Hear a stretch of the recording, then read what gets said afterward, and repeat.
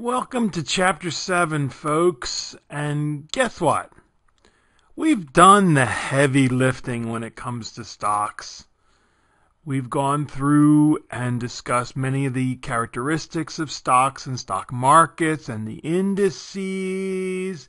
We've discussed valuation techniques, ratio analysis, dividend discount models, price ratio models. And now we're going to have a little fun with silliness and discuss stock price behavior and market efficiency. And it gets even sillier in chapter 8. A better name for this chapter might be Can You Beat the Market? Can you? Well, some people think they can, and, and there are some people who can. But most people wind up finding out that they really can't. And there are many reasons why. We have a wonderful quote here by Sir Isaac Newton. Yes, that guy. The force equals mass times acceleration, gravity, apple hitting on the head, calculus. Yeah, him. I can calculate the movement of the stars, but not the madness of men. And folks, he learned from personal experience. He lost a ton of money in one of the financial scandals of his day. Yeah, technology changes, but uh, people don't. Slide number two random walks and efficient markets. Huh? Random walks. The random walk hypothesis states that the theory, it's a theory that states that the stock price movements on the markets are unpredictable. Well, in the short term, this is absolutely true. In the short term, there has never been a reliable method. There's lots of methods, but none of them have been reliable, given statistically significant uh, tests to uh, predict the short term behavior of the market. No one's been able to do it. One company in the 1990s was supposedly able to do it, long term capital management, and they failed miserably and almost brought down the market. So, in the short term, stock price movements are unpredictable, they are random. but in the long term, folks, no. You look at the long term over the span of modern financial history, and we usually often use the 1910s and 1920s. And why is that? There's some technological um, reasons for that, but we won't get into those. No, stock prices have not been unpredictable. As the world economy, the global economy continues to grow and more and more people are taken out of poverty, this I forget it what it was. 20% of people live on a dollar a day or less in the in the in the world and then is it 40% live on $2 a day or less? Yeah, until that changes, folks. We've got a long way to go. So, no, in the long term, stock prices are not unpredictable. As the global economy uh, uh, grows, stocks, the companies that represented are represented by the stocks, should do well. You know, capitalism is it's not perfect. It's possibly the worst possible system for delivering goods and services to an to a country, to an to a population, to an economy except for all the others.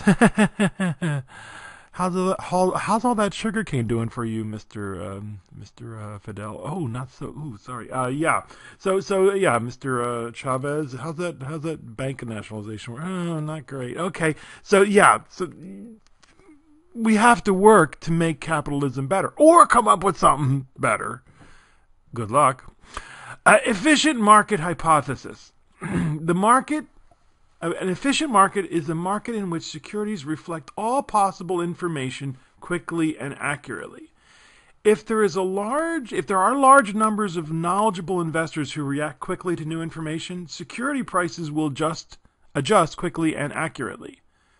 So so the New York Stock Exchange, the Nasdaq, the large exchanges in Europe and the Far East, Australia, and now in the developing markets more and more are efficient markets. There's plenty of investors, plenty of uh, buyers, plenty of sellers, and so the efficient market theorists believe that the securities prices right now reflect all possible information, and those are the that's the way that's the way it should be right now. The prices are the way they should be. And there's we've discussed this book before, A Random Walk Down Wall Street. He is one of the uh, original professors who worked on this these studies, and he does a really good job of skewering both sides of the argument. He gets he he gets everybody. Uh, he likes to insult everybody, just like me. Slide number, th- including himself. I mean, he, he he makes fun of himself and, and the problems that that the efficient markets have, and we'll do that in the next several slides. Uh, slide number three: the weak effic- efficiency hypothesis. Past data on stock prices are of no use in predicting future prices. Well, um, stock prices do tend to demonstrate momentum, right? They tend to rise more often than they fall, and they tend to move far higher than is usually justified, resulting in a mania or sometimes called a bubble. Or they tend to fall far lower than is usually warranted, a crash. And there's a wonderful quote by a very famous economist, John Maynard Keynes, who was um, asked by uh, these uh, short term investors who were shorting stocks, meaning they thought that the market was overvalued. And he and he and they said, you know, this is irrational. These these people are bidding up these prices irrationally. These stocks are overvalued. And of course, they were losing a tremendous sum of money because they were betting on stocks to go down and stocks were going up. And his famous quote is, "The market can stay irrational longer than you can stay solvent." and this is absolutely true. I know somebody who was absolutely right about the housing debacle in 2007 and 8, but he was a couple years too soon and he started betting that the housing market would fall too soon and lost a lot of money. If this theory is true, excuse me, then technical analysis, which we'll cover in the next chapter, is useless. Okay? If this theory is true. Now, let's take a look at slide number four. Slide number four the semi strong efficiency hypothesis. Wait a minute, the weak, the semi strong. Yeah, they, they, were borrowing from the physics. Uh, uh, uh, physics theorists who were using the strong, the semi strong, the weak theories. And Abnormally large profits cannot be consistently earned using publicly available information. What does that mean? Well, in other words, no amount of analysis that you do to determine the future price of a stock will help you beat the market.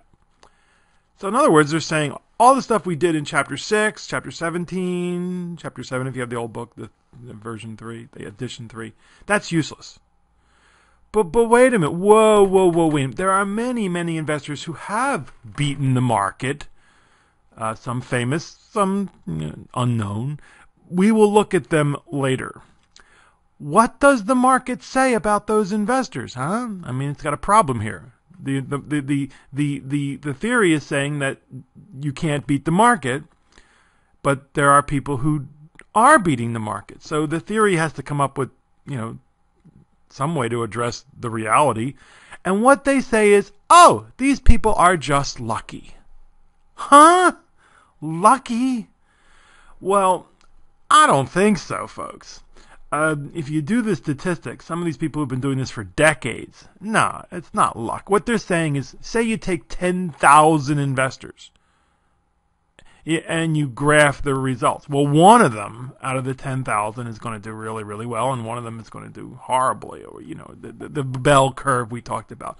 Well, that's, that may be true in the short term, but not in the long term. The, the, the probability of being lucky for 15, 20 years in a row is just, it's just not it, it's not there. It, it, it might happen every two hundred and seventeen thousand years, but but but it, there's many many people who do beat the market. And what I like to think of is a, an analogy that we talked about way back when we were discussing, you know, whether you're a speculator or whether you're an investor. It reminds me of the quote that is attributed to many different golfers. If you type in the quote into any search engine, you will see that lots of different golfers are are uh, are attributed to this uh, quote, he did really, really well and beat everybody else and made a ton of money and was very famous. And one reporter was asking him, was interviewing him, and said, You know, you were really lucky out there today. And the golfer said, Yep, you're absolutely right. And the funny thing is, the more I practice, the luckier I get. Exactly. Can you hit that little white ball into a little hole 420 yards down the fairway? Can you hit that that uh, 97 mile hour fastball and then the pitcher throws you a changeup. Yeah, if you can, but there's not a whole lot of people who can do it. And we'll just we'll take a look at some of the very famous ones uh, later on in this presentation. Slide number five: the strong efficiency hypothesis. No amount of information, public or private, allows investors to earn abnormally large profits consistently. Huh? No, no, no, no. One insider information trade can make you rich overnight. If you don't get caught, that is.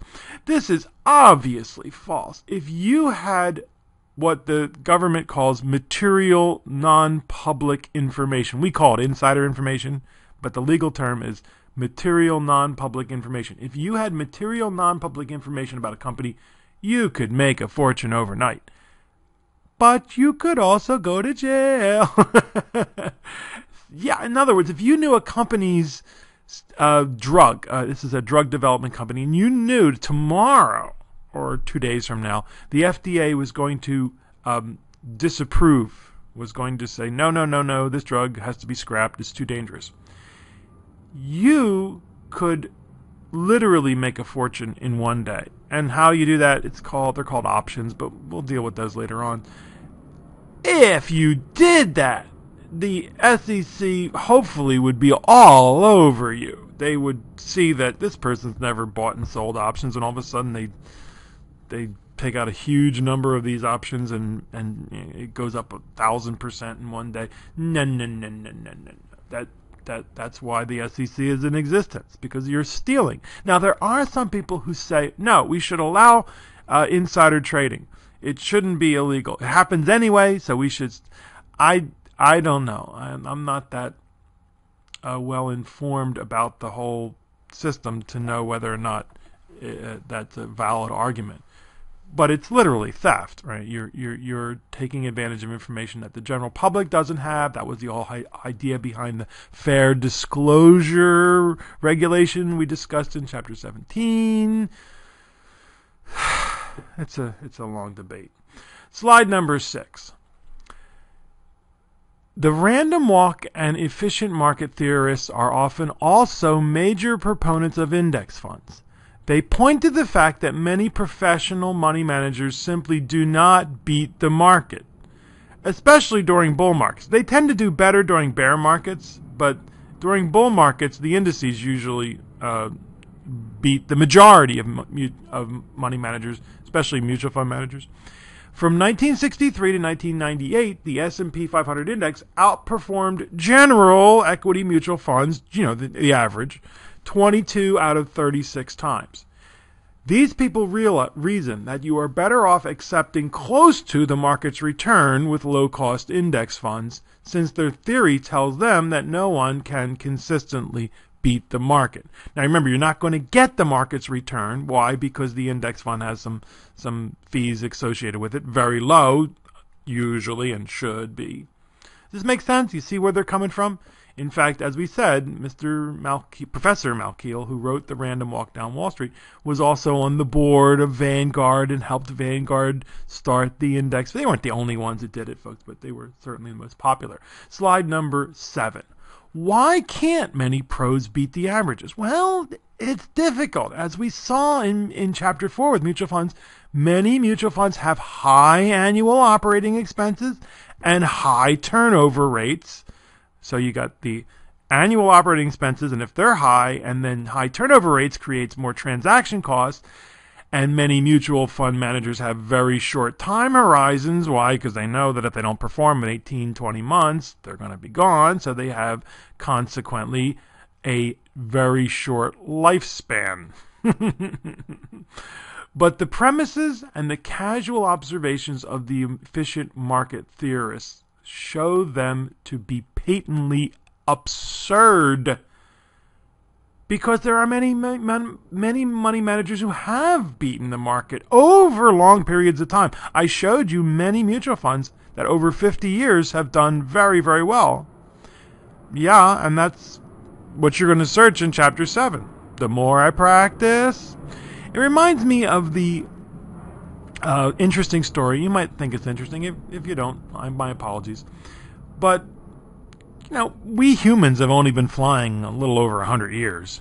Well, we had balloons before that, but I'm flying machines, aeroplanes. And the technology developed fairly quickly. Uh, the engineers you know, figured out what was going on very quickly and then improved upon the technology to the point where it's it's the safest form of travel. It's even safer than walking across the country. Um, But for many decades, the aerospace engineers looked at a bumblebee, not a honeybee, but a bumblebee, and said, that thing can't fly.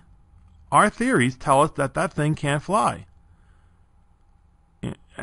I'm glad they never told the bumblebees. so obviously there's something wrong with the theory, right? Uh, if it wasn't until the 1990s that they finally figured out what the bumblebees were doing to overcome the uh, constraints that we believed that they would keep them from flying. So it's the same thing true with these people. Don't tell these people they can't beat the market. They're doing it.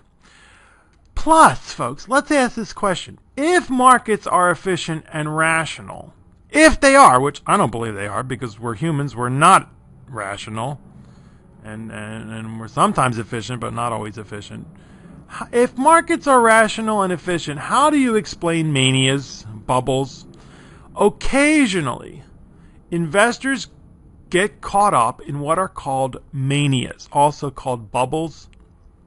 And it happens. That's what the history of capitalism is. It's a history of, of manias and bubbles and then subsequent crashes. The internet bubble of the 1990s was the latest stock mania. Before that, there was the Nifty 50 of the early 1970s these were companies that if you bought them, nothing's going to go wrong. You're going to make a ton of money, and most of them are all gone. You might have heard of Calcomp or Tektronix. Know, those were the those were the the technology companies that weren't the only ones. Um, uh, Avon, which has never recovered to its its high of 1972. Polaroid. Pol- look, they went bankrupt in 1998, right? Someone bought the name. I you know I just don't I don't know folks. I would not want to buy a company whose name rhymes with hemorrhoid. I just wouldn't want to do it. And before that, there was the uh, mania of the 1920s and that resulted in the crash of 1929. What were the the uh, the internet stocks, the social media stocks of the 1920s?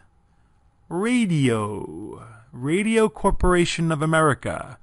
You might know it as RCA reached $290 or so, I think, in 1929, and then four years later it was $2. In the 1840s, there were 400 railroad firms. Now there's less than a handful of large railroad firms. But the granddaddy of all manias, folks, was the Dutch tulip bulb craze of the early 1600s. Yes, you heard that right, tulip bulbs. And they didn't start in the Netherlands, folks. tulips, tulips originally from Turkey, I think. And that was the craze. Tulip bulbs were sold and purchased like any other security. And the prices were bid up to the point where at the main at the height of the mania, one tulip bulb sold for what today would be worth 1.5 million dollars. Now when you put a tulip bulb in the ground, what does it do? It does what all life does. It struggles to reproduce. and you get a whole lot more little tulip bulbs. Exactly. That, course, wasn't going to last and it did eventually crash and burn. And there's two wonderful books that you want to read the first one more importantly than the second one, but the second one is extraordinary. Uh, but the first one, extraordinary popular delusions and the madness of crowds, I used that word twice, uh, is written in the 1840s, and it still shocks you. It still shocks you. It just it it doesn't tell you why. I mean, we really don't know why. It probably has something to do with our genes and what kept us alive 500,000, 2 million years ago. That's still in our genes now. But we are not a rational as much as we'd like to think we are, we're not a rational species. If we see a whole bunch of people running one pay, one way, what do we do? We run with them. uh, why is that? Well, they believe, we don't know, but what they believe is because the people who didn't run, who said, ooh, look at all those people running that way, they're the ones that got eaten by the tiger. right? So they didn't get to pass on their genes, did they? No. Um, so, so this will explain to you how, not why, how it was easy, relatively, for a madman, an evil genius, to turn an entire country into a Nazi Germany. And yes, Jews were inferior. Jews were responsible for all the ills of the world, and we have to kill them. It was able for Soviet Union to become the dictatorship of the proletariat which would bring about in five years the socialist paradise on earth. Yeah, yeah how's it working? No, not too good. It was a we were able to turn a country, a peace, relatively peaceful, loving country like the United States, into a war machine against a country that supposedly had weapons of mass destruction. I still look around and people just act like, did we really go to war with Iraq and we invaded them? No, it must that couldn't have happened. Yeah, it's amazing. And one of my students said it one wonderfully. Did said it really well. He said, "It's easier to fool a hundred million people than it is to fool one." Uh huh. The Botany of Desire is another book that I submit to you, but it's really only has a well has some has some finance and it has some um, some good finance, but it really is a discussion about plants and how we think we rule the plants, but in reality, they rule us. they they get us to plant them, they get us to water them, and keep their bugs away, and and uh, keep the weeds. yeah, yeah. Who's who's the ruler? We or the corn? Um, each time in these manias, the phrase was, "It's a new era. It's different this time." The old ways of valuing stock are gone. And of course, each time they were wrong. So, so much for rational, efficient markets. Markets are not always rational. Markets stay, can stay irrational far longer than you can stay solvent. Slide number nine. Why do manias occur over and over again? Why haven't investors learned their lesson? By the way, the 2008 2009 crash had was not because of the stock market, folks. It wasn't. It was because of the bond market, specifically the bonds that were tied to mortgages, mortgage backed securities. We'll deal with them when we get to bonds. Because all of us believed, and this wasn't the only country that was doing it um, Spain, the UK, Ireland, Portugal to some extent all of us believed that housing would never go down. It would just continue to rise. We like to think we're far more sophisticated than those buffoons who spent outrageous amount of money for tulips. We spent outrageous amount of money for two bedroom condos that were $80,000 in 1998 and now they're $380,000, but don't worry, they'll don't. yikes. Hmm. Why haven't we learned our lesson? Well, here's one idea.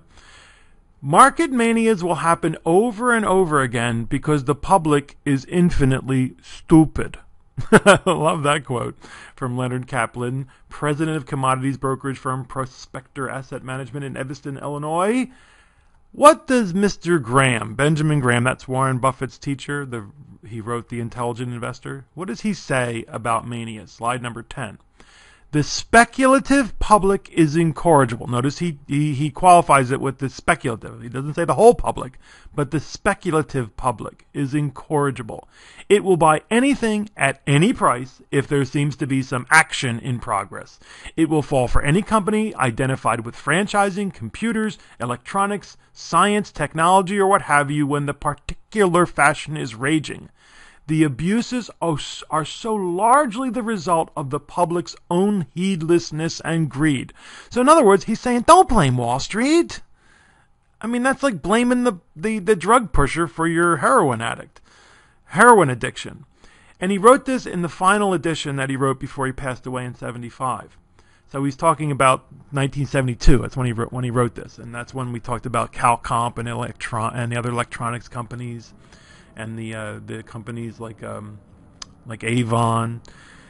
If you replace franchising computers, etc., with internet and biotechnology, etc., good old Ben could have been writing in 2000 instead of 1972. Today, what are the buzzwords? Social networking and, and anything to do with China. Yeah, just throw China in the name of the company. And, and yeah, slide number 11.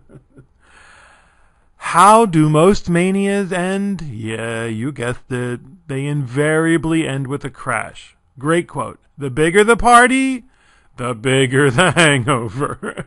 Look, they're not fun. They're not fun, but the odds are you will live through at least one, probably two, maybe three, because they seem to be happening closer and closer during your investing career. And this is a gentleman who in 1999 was considered absolutely off his rocker. Old fashioned, fuddy duddy, all washed up. With this many strong years, I have the concern that there are a vast majority of companies that are significantly overvalued on a long term basis. This is, was Jon Lovelace, who just passed away just a few months ago.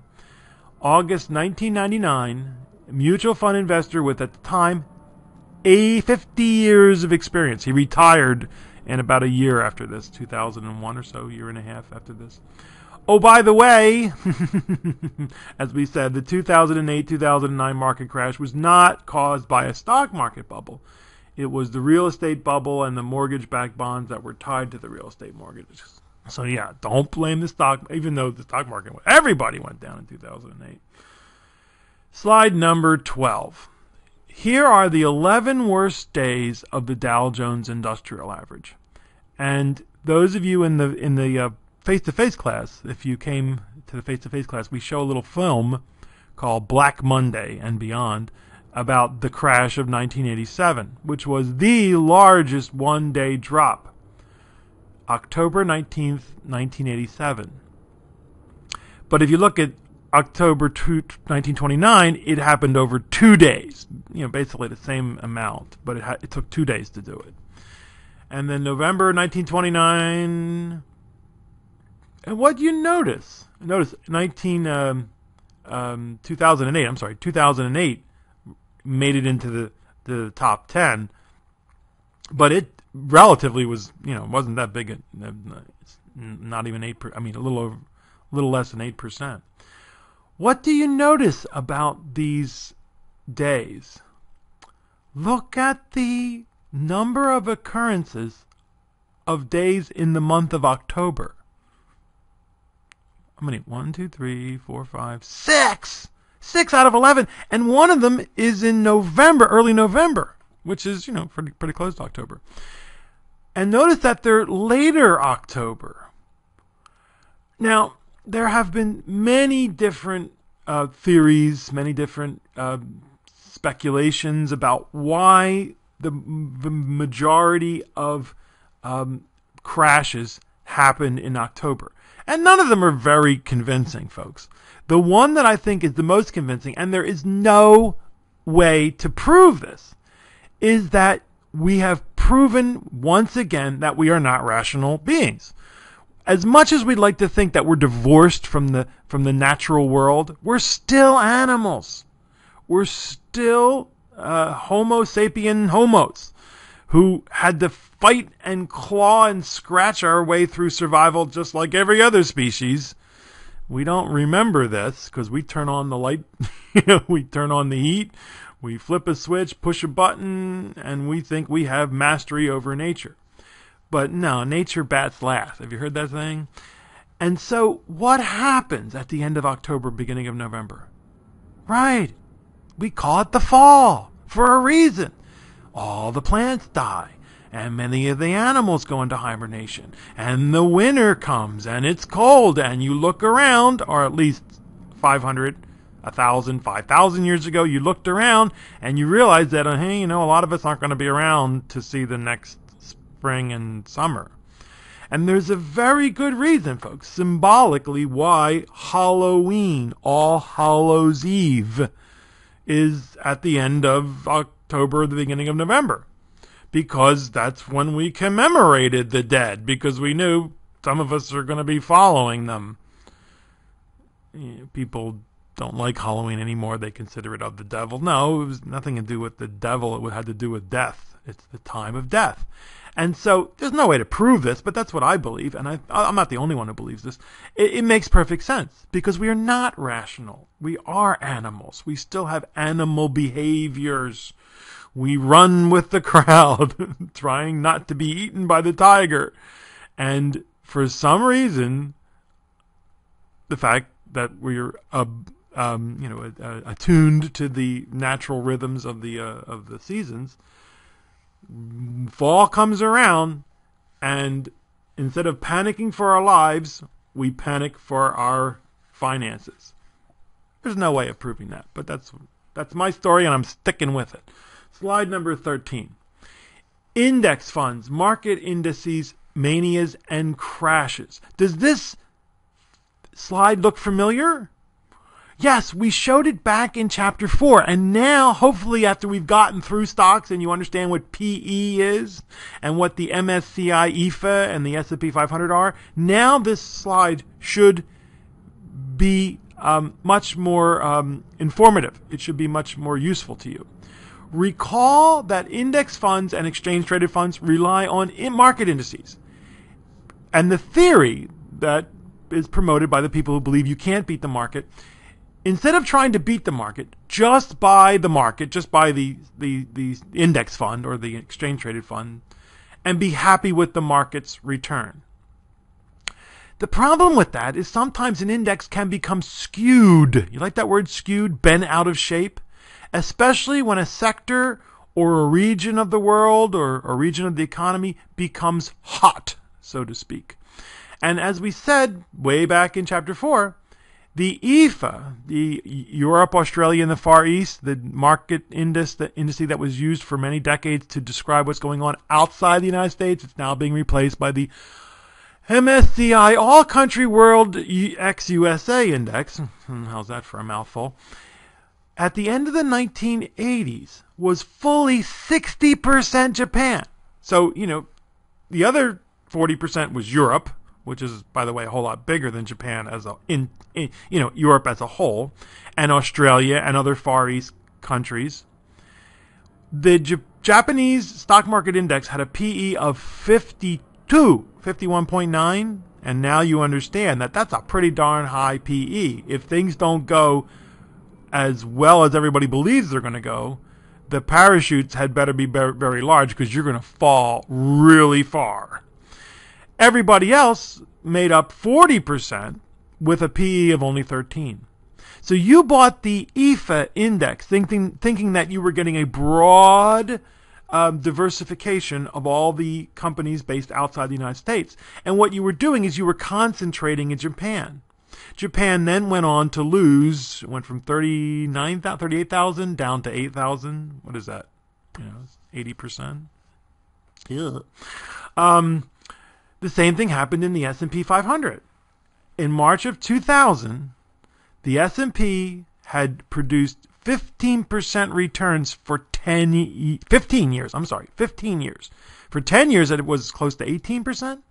And so you thought you're getting this wonderful index, broadly diversified, 500 largest companies based in the United States, and what you were actually doing was buying one third, fully one third of the S&P 500 were companies in the information technology. This includes the internet companies and the telecoms and the and all the other startups that were around at the time. eBay with its PE of 10,000. And the PE was almost 60, 59.2. Everybody else, folks, everybody else, the cars, the energy, the healthcare, the paper products, the materials, the the groceries, the consumer staples companies, everybody else made up two thirds with a PE of 19. Now, still pretty high, but not almost 60. And what happened over the next two and a half years? The S&P 500 went on to lose almost 50% of its value. The Nasdaq, which measures the information portion, yeah, the tech heavy NASDAQ went on to lose 80% of its value. So you understand when people tell you that index funds, oh yeah, just, just buy the index. You know, nothing is perfect. I'm not trying to knock and, and say you shouldn't buy an index fund. What I'm trying to get you to do is understand that everything has advantages, everything has its disadvantages. And this is one of the problems with index funds. Slide number 14. And we're going to add to this anomalies, silly theories, and oddities. And the fact that these things actually get um, get press time and they're talked about on the uh, the news shows, the financial news shows, and, and read about on the internet, on magazines, it just shows you how silly we really are, how irrational. The Monday effect. It's the best day to buy, or or is it the best day to sell? I don't know, read about it. The January effect. As goes January, so goes the year. Well, sometimes that's true, sometimes it's not true. The Santa Claus rally, that's called the turn of the year effect. What is that supposed to mean? Well, eh, around Christmas, I guess people get in a jovial mood and they typically the market goes up. Doesn't always happen. If the market doesn't go up, they say, "Oh, it, people are selling for tax purposes. They're selling to lock in some losses or some gains." Eee sell in May and go away. You'll hear people say this. Well, you know, they're absolutely right. It turns out that the market does better from, say, November to March, April, than it does from May to October. And much of that is because September and October are the worst months. But over the long term, folks, it it may be a half a percent or one percent better. It, you you know, again, it, it's statistically significant over the long term, but is it going to change your your um your returns over the long term? Probably not. Why? Because emotions. If you're going to follow these precepts, you're probably going to let your emotions ca- catch over. Because the last couple years, it was August that was the worst month, and September and October actually did okay. So yeah, yeah. Um, if you sold in May and went away last year in 2011, you actually did pretty well, but other years you missed out. So I, I am I am not advising that you even try to do these things, but it's up to you. The Super Bowl theory. Oh, this drives me up a wall. Every year. Well, the Super Bowl is such a big cultural icon in the United States, so I guess I guess we can be forgiven for attaching it to everything. But supposedly, if the National League or a team that started out in the National League and now is in the American League, I don't know, wins, that means the stock market's going to go up. The American League, if it wins, the stock market goes down. It's actually fairly um, been fairly uh, what's the word um, co- correspondent. It's actually it's actually been true for many, not all the time, but many. Tr- and and you think, well, what's the connection? Have you ever heard of coincidence? For uh, about I don't know, 12, 12, 10, 12 years ago, somebody figured out that if you play the album from Pink Floyd called Dark Side of the Moon, one of the you know one of the biggest selling albums of all time. You started playing that at the same time you started watching The Wizard of Oz the scenes change at the exact same time as the music.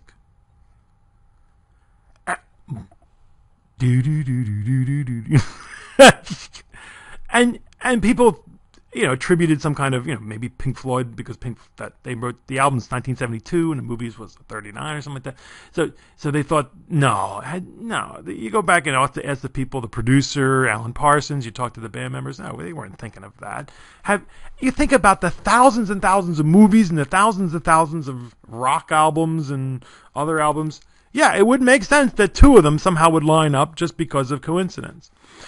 Hemlines of skirts. You gotta love this one. Mini skirts. When hemlines go up, so does the stock market. Well, 1920s, 1960s, hemlines went up.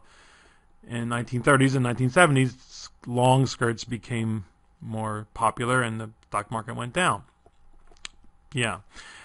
And there are many other silly indicators, such as the lipstick indicator, the Boston snow indicator, often called the BS indicator, the hot waitress indicator, and the aspirin count theory. And if you are so inclined you would like to watch how silly humans can be, do look these up. And lastly, let's take a look at politics and the stock market, right? Poly means many, and ticks are blood sucking insects. No, no politics. Um, um, which market? I mean, I'm sorry. Which which uh, party? The Republicans or the Democrats? Which one is better for the stock market? Well, you know, the Republicans have done a pretty good job of convincing everybody that they're better for the stock market, but it, the the, the theory, it doesn't pan out. the the when there have been Republican administrations, the market's actually done worse over the long term and Democratic administrations, it's done better. Well, is it because the Democrats are better at the economy than the Republicans? No, it, much of it has to do with just bad timing.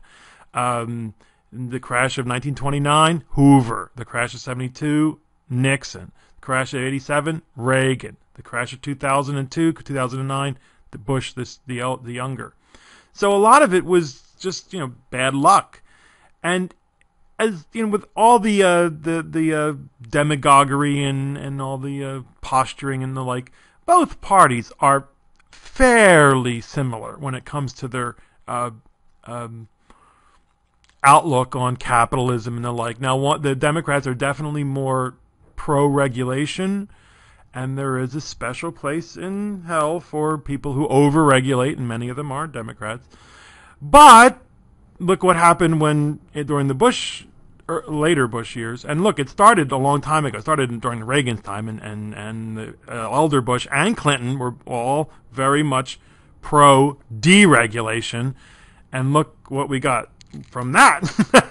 so there's another place in hell for people who don't regulate enough, we get the uh, the credit default swaps and all the uh, the picadillos and the insurance and the uh, in Wall Street and and so many of those people are Republicans. So we, there's a lot of blame to go around, folks.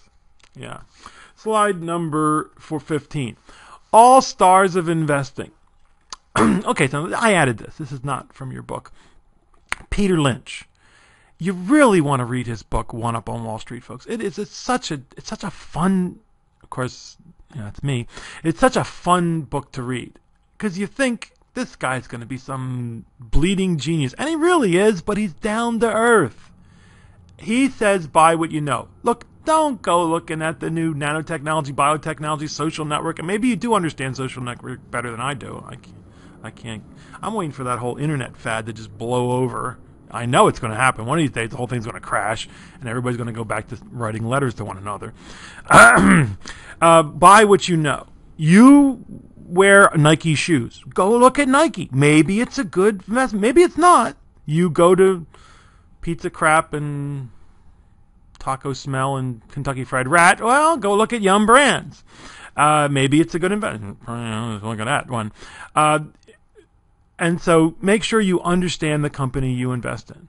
Warren Buffett, oh, we've talked about him quite a bit. Don't buy a stock, buy a company. He puts emphasis on the value of the entire company. In other words, if you could buy all of Federal Express, if you could own Federal Express, which you know you need several billion dollars to do, tens of billions of dollars to do so, but if you could and you would buy it, great. Go ahead and buy 10 shares. You understand? Now, of course, he's big enough, he buys the whole company. Benjamin Graham was Warren Buffett's teacher. He's often called the father of value investing. You're going to read The Intelligent Investor, right? Yes, you are. Nod your heads. Yes, I want every, every. Come on, you too. Nod. Yes, you going to read this eventually. Read one up on Wall Street first. And then John Templeton, one of the first mutual fund managers, Sir John Templeton, one of the first mutual fund managers to invest globally. Slide number 16. And then Mr. Miller, Bill Miller. Poor Bill Miller. Do you feel sorry for him? Don't feel too sorry for him. He's retiring very rich.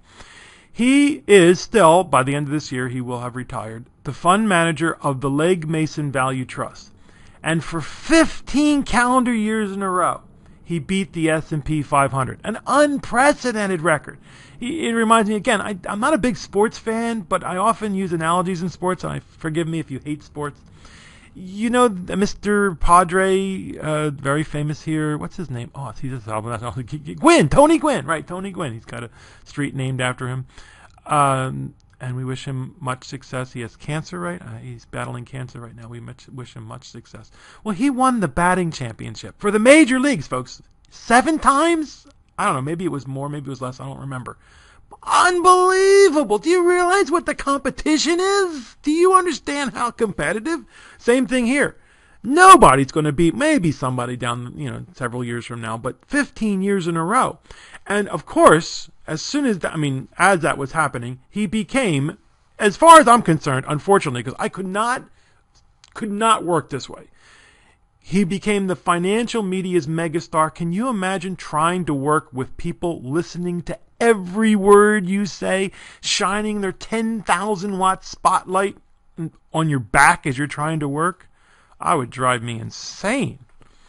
One of the weird things about putting these presentations on iTunes, I just did it so that people who had Apple iPads and and iPhones and iPod touches can watch the presentations because they don't support Flash.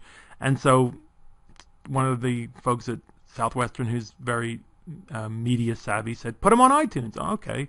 Well, I'm getting all kinds of reviews, and some people like the like the uh, presentations, and some people hate them. This guy is hard to take. Boy, is he annoying. hey, it's free. If you don't don't listen to it, all right? Well, that's that's one of the things that you have to deal with if you become a very famous mutual fund manager or money manager. You're going to get all kinds of people saying horrible things, wonderful things, neutral things about you. What happened, folks, is he did not beat the S&P 500 in 2006 and then lagged badly in 2007 and 2008. Boy, did he stink up the joint. And this is, you know, people would ask me, well, if you, you know, why don't you invest with Mr. Miller? Why don't you invest with Bill Miller? And I would say, you know, I wish him well, but I really don't like his investing style. He made large bets, as it's often called. His mutual fund had typically 45, 50, 40 stocks. Why do we buy a mutual fund? Right, for diversification. Most mutual funds have 150 or 200 stocks. If your bets do well, yeah, you're going to have great returns. If they don't do well, exactly. So he really did not do well in 2006 to 2008.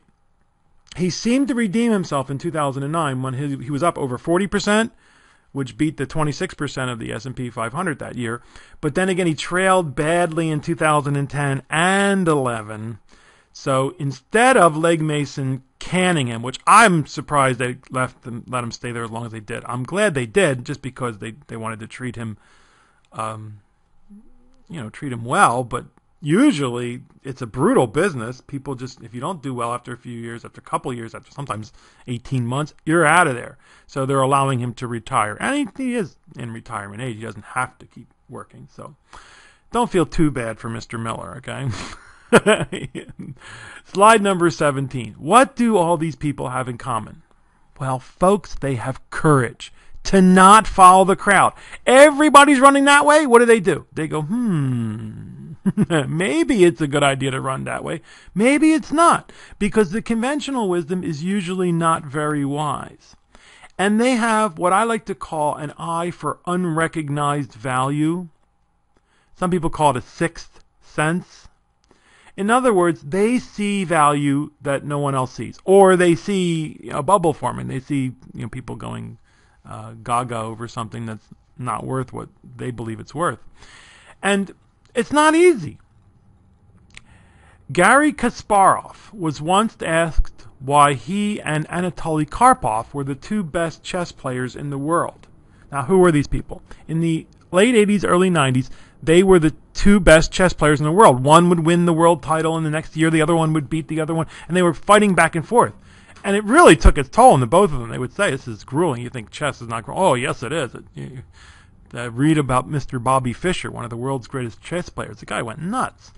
His answer was astonishingly simple and direct.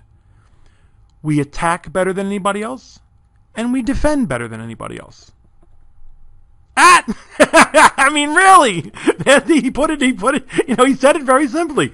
In other words, we're the best at what we do. Can you, you beat somebody in that little game of uh, medieval game of uh, of war? Can you hit that um, uh, ball at 95 miles an hour? Can you, uh, you know, whatever, hit that little golf ball down 500 yards, 300, whatever it is, 320 yards down the fairway, par four? These people, these all stars of investing, they bought the best companies and they avoided the worst companies. So, you sports fans, you know, offense is important, but in many ways, defense is even more important, isn't it? So, slide number 18. Speaking of avoidance, as a mutual fund manager, investor, which mostly I am, I am not looking to find the next Peter Lynch or the next Bill Miller or the next Warren Buffett. Oh, no, no, no, no, folks. I am tr- looking to avoid the next Charles Steadman. And have you ever heard of Charles Steadman? No, you haven't. There's a reason why you haven't heard of Charles Steadman. He ran his own mutual fund, the Steadman American Industry Fund. He named it after himself. Not a good sign. From December 1959 until his death in late 1997 his cumulative total return during one of the largest or the largest increase of the global economy was minus 42.9%. He lost 40 some percent of his investors' money over 40 years. While the stock market went up, you know, 2,000 or whatever percent, or, you know, 20 times or whatever, he would have done much better simply placing his investors' funds into a savings account at a bank. He would have done better putting it in a mattress. I don't know. Maybe he came from the life insurance industry where this is typical. So that's what I'm after. You understand? I'm not so interested in good offense. I mean, I like good offense, but I want good defense. Slide number 19. Mr. Buffett, what does he say about about uh, investing? Be fearful when others are greedy. Be greedy when others are fearful. and did he uh, take his own advice? Oh yeah. Throughout the uh, the internet dot com bubble, he stayed you know, on the sidelines. Didn't he? Didn't he said I don't understand these companies. I'm not investing in them. Throughout the 2000s, he did a little bit, but mostly sat on the sidelines. When the 2008 organic matter hit the ventilating device, he swooped in and bought a ton of GE and a ton of Goldman Sachs. And the Goldman Sachs turned out to be a brilliant move.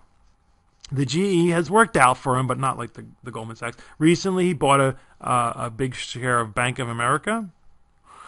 His men- well, I don't know about that one. His mentor, Benjamin Graham, said it this way: Buy when most people, including experts, are overly optimistic, and sell when they are actively opt- Oh, I said it wrong. I'm sorry. Let's try it again. My apologies.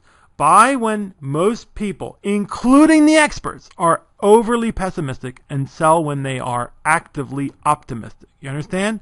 Everybody's running one way. What do you do? You run the other way. right? Not easy. It's easier said than done, folks. Slide 20. John Templeton, Sir John Templeton, pretty good for a, uh, a guy from Tennessee, where he originally was from. Bear markets are born of pessimism, grow on skepticism, mature on optimism, and die on euphoria. The time of maximum pessimism is the best time to buy. Invest when there's blood in the streets, is the old saying, but that's from the 1700s. On a similar note, he also said, Buy when others are despondently selling, and sell when others are avidly buying requires the greatest fortitude and pays the greatest reward. Now, did Mr. did Sir John Templeton uh, follow his own advice? It turns out he did. December 1941, you, you students of history, what will that tell you, right? What, happened in December? Right, the United States was finally dragged into World War II when the Japanese Imperial Arm, uh, Navy attacked Pearl Harbor. And, you know, things were still going pretty bad for, for Uncle Joe in, uh, in Soviet Union. Herr Hitler was running rampant. He had already taken over all of Europe, gave up on Britain. But yeah, it didn't look good for the free world. One third of the Pacific Fleet was sunk on a single day. What does Mr. Sir John Templeton do? He calls up his broker and says, I want you to buy every company on the New York Stock Exchange that is in bankruptcy. What? Would you have that kind of courage? Four years later, Mr. Templeton is a very wealthy man because some of those companies didn't come back, but the ones that did, oh boy, yeah. Would you have that kind of courage? Hmm.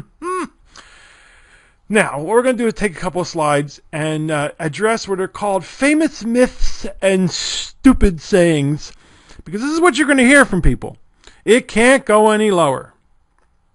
Oh, yes, it can. It, it can go to zero. Once it goes to zero, it can't go any lower until it hits zero.